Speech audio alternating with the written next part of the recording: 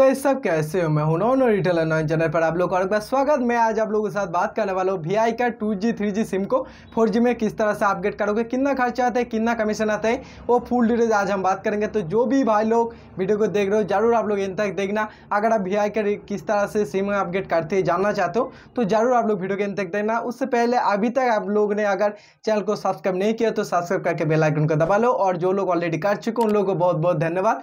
तो आज का वीडियो शुरू करते हैं। तो सबसे पहली बात तो है कि ये जो अपग्रेड सिस्टम है ये जो भी जी मतलब वी आई का रिटेलर सिर्फ़ और सिर्फ़ वही लोग कर सकते और इसमें इनकम अच्छा खासा है और ये सबको चाहिए भी जिनके पास भी पुराना वी आई का सिम है उसको अपग्रेड करना पड़ेगा वरना वो सिम बंद हो जाएगा। साथ में जिनका भी पुराना सिम है वो सिम मतलब जो बड़ा वाला सिम होता है वो सिम है। तो अभी जो एंड्रॉयड मतलब जो भी स्मार्टफ़ोन है उसमें छोटे जो माइक्रो सिम होता है वो लग जाते हैं। तो वो सिम को करना पॉसिबल नहीं है। तो सिम अपग्रेड करना ही पड़ेगा। और ये सिम अपडेट करने में भी भी खर्चा बिल्कुल भी नहीं है, इनका बहुत बढ़िया है। मैं आप लोग को लाइव सब कुछ बताऊँगा, दिखाऊँगा तो ज़रूर आप लोग वीडियो को इन तक देखना। ये मेरे एक पर्सनल रिक्वेस्ट है आप सभी लोगों से। तो सबसे पहली बात तो है आप लोगों को यहाँ पर दो टाइप का प्रोसेस मिल जाते हैं सिम को अपग्रेड करने के लिए। सबसे पहला प्रोसेस मैं आप लोगों को बता देता हूँ, जो आप लोगों को आपका स्मार्ट कनेक्ट जो ऐप है, उसको सबसे पहले ओपन करना होगा, जो भी रिटेलर है, उनका स्मार्ट कनेक्ट ऐप ओपन करना होगा। उसके बाद नीचे में सर्विस ऑप्शन देखने को मिल जाएगा साइड में देख सकते हो। सर्विस ऑप्शन पर, उसके बाद यहाँ पर आप लोगों को सिम अपग्रेड का ऑप्शन मिल जाएगा। सिम अपग्रेड का ऑप्शन पर जाओ और यहाँ पर आप लोग जो नंबर को अपग्रेड करना चाहते हो, उस नंबर को यहाँ पर डाल दो और इस नंबर को डालने के बाद नीचे में सिम नंबर डाल देना। जो सिम नंबर डाल देना या सिम के ऊपर जो क्यू कोड है, उसे आप लोग यहाँ पर स्कैन कर लेना। तो ये प्रोसेस जब भी कर लोगे, उसके बाद यहाँ पर सबमिट कर लोगे, यहाँ पर रिक्वेस्ट इनिशिएट हो जाएगा। उसके बाद ये जो नंबर है, जिस मोबाइल पर ये नंबर है तो उस मोबाइल पर एक मैसेज चला जाएगा और उस नंबर से, उस फ़ोन से आप लोगों को एक मैसेज करना होगा, जहाँ पर लिखना होगा S I M E X आप लोग अच्छे से देख लेना। S I M E X लिखना, उसके बाद एक पेज देना मतलब एक गैप दे देना। उसके बाद जो सिम नंबर जो सिम कार्ड में लिखा है वो सिम नंबर यहाँ पर आप लोग ले देना। जैसे कि मेरे को जो एट नाइन नाइन वाला जो नंबर है, ये नंबर वहाँ पर दे देना। उसके बाद आप लोग इसे सेंड करना। फाइव वन फाइव वन एक मिनट तो आप लोग five five one nine nine number पर इसे सेंड कर देना। फाइव फाइव नंबर पर जब भी सेंड कर दोगे, यहाँ पर आपको और एक मैसेज आ जाएगा। और प्रोसेस इस टाइप का मैसेज आ जाएगा।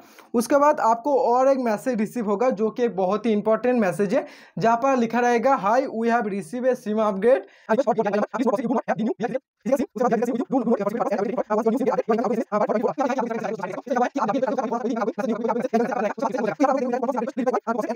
to आवाज़ तो आप लोगों को जब भी ये मैसेज आए इंस्टेंट इंस्टेंट आपका जो नंबर वो five five one nine nine number पर कैपिटल लेटर में वाई लिखकर सेंड करना ही पड़ेगा जब भी आप कैपिटल लेटर में वाई सेंड करोगे, उसके बाद आपके नंबर पर एक वी आई कंपनी की तरफ़ से कॉल आएगा और कॉल आने के बाद वो लोग कॉल पर बताएगा कि आप इंग्लिश में बताएगा कि ये ट्वेंटी फोर आवर्स तक आपका इनकमिंग आउटगोइंग एस एम एस बंद रहेगा। कॉन्फर्म करने के लिए एक मतलब पेश कीजिए। उसके बाद जो सिम नंबर जो सिम नंबर जो सिम कार्ड पे लिखा रहे हैं एट नाइन नाइन मेरे जो नंबर है, उसका लास्ट जो छः डिजिट का है लास्ट छः डिजिट वो आप लोगों को यहाँ पर एंटर करने के लिए बोलेगा तो जस्ट आप लास्ट छः डिजिट एंटर कर देना, उसके बाद कॉन्फर्म करने के लिए एक पेज कर देना। तो जब भी ये काम कर दोगे, ये सक्सेसफुल हो जाएगा, और और कमीशन के बाद और कितना खर्चा है, वो बाद में बता देता हूँ। देखो यहाँ पर कमीशन जो है, वो अगर आप लोग इसे कीपैड मोबाइल पर रखोगे तो लगभग पंद्रह से बीस रुपीज़ का कमीशन मिलेगा। और इसे आप एंड्रॉइड मोबाइल पर रखोगे तो बीस रुपीज़ से लेकर तीस रुपीज़ का कमीशन आप लोगों को डायरेक्ट आपका जो स्मार्ट कनेक्ट ऐप है, वहाँ पर इंस्टेंट क्रेडिट हो जाता है, आप साइड में देख सकते हो। ओके, जो कि मैं पहले जो किया था, एक एंड्रॉइड मोबाइल पर सिम एक्सचेंज किया था मतलब अपग्रेड किया था, जिसमें मेरे को तीस रुपीज़ का कमीशन मिला था। और आज मैंने जब किया, एक कीपैड मोबाइल पर था तो मेरे को पंद्रह रुपीज़ का कमीशन मिला। तो आप लोग जब भी किसी कस्टमर का सिम अपग्रेड करोगे तो उस सिम को ज़रूर किसी न किसी एंड्रॉइड मोबाइल पर वहाँ पर रखना, तभी आप लोगों को ज़्यादा कमीशन मिलेगा। बट उसको अगर आप लोग कीपैड मोबाइल पर डाल के रखोगे तो आप लोगों को कमीशन बहुत ही कम मिलेगा। और यहाँ पर कोई भी खर्चा नहीं आते, सिर्फ़ और सिर्फ़ जो पाँच रुपीज़ का सिम का खर्चा आता सिर्फ़ वो खर्चा आता बाकी यहाँ पर कोई खर्चा नहीं आता है, सिम अपग्रेड हो गया। और आपको यहाँ पर जो आपका जो कमीशन है वो इंस्टेंट क्रेडिट हो जाता है और ये जो सिम है लगभग दो घंटे के अंदर चालू हो जाते हैं तो उसके बाद पुराना सिम बंद, नया सिम स्टार्ट हो जाता है। तो आप लोग साइड में मैंने छोटे छोटे क्लिप भी आप लोग को दिखाया मैं बहुत सारा क्लिप शूट किया था, बट वहाँ पर थोड़ा सा दिक्कत आ गया था। वरना मैं आप लोग को और भी ज़्यादा डिटेल्स पर दिखाना मतलब दिखाना चाहता था। पर वहाँ पर जो मैं कीपैड मोबाइल से जो कर रहा था, उसमें नेटवर्क बहुत ही घटिया था तो बहुत ज़्यादा लेट हो रहा था। तो इसीलिए काम मतलब अच्छे से आप लोग को नहीं दिखा पाया।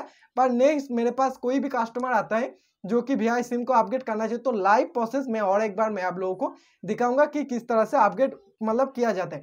तो आपको अगर अपडेट करने में कोई भी दिक्कत आती है तो आप कमेंट करके बताओ। हर एक कमेंट के रिप्लाई आप लोग को मिलते रहेगा। तो जो भी डिटेल्स है, शायद मैंने बताया भाई कुछ मिस हो गया तो माफ़ कर देना। आज के लिए नहीं thanks for watching my video जल्द बंद मिलते और एक धमाका से वीडियो में। Thank you bye bye